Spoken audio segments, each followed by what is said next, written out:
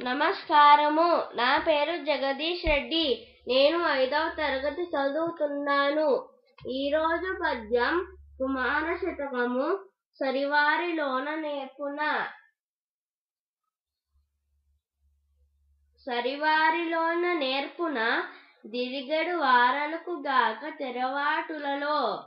నలియుచు మెలగడి వారికి బరువేటికి గీడే ఎనభవంబు కుమారా. భావం. ఓ కుమార తనతో సమానమైన వారితో నేర్పున నడుచుకొనిన గౌరవము కీర్తి లభించును. అంతేకాక దుష్టులతోనూ దొంగలతోనూ స్నేహము చేసిన ఎడల గౌరవము చెడి కీడు జరుగును. ధన్యవాదములు.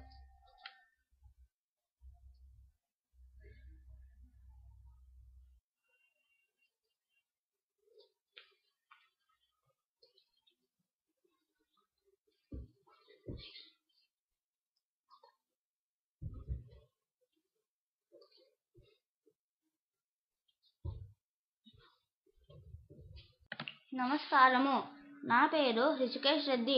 ఈరోజు నేను కుమార శతకంలోని తనుజులను గురువృద్ధుల అనే పద్యం చెబుతున్నాను. తనుజులను గురువృద్ధుల జననీ జనకులను సాధుజనుల నెమడు దా గనుడయ్యు బ్రోవడు యా జనుడే జీవనృతుండు జగతి కుమార. దీని భావం ఓ కుమార తన కుమారులను గురువులను పెద్దవారిని తల్లిదండ్రులను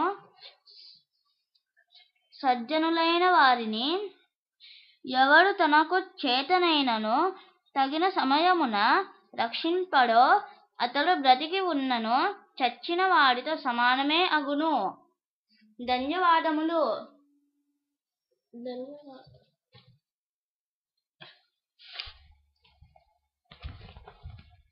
đến ờ,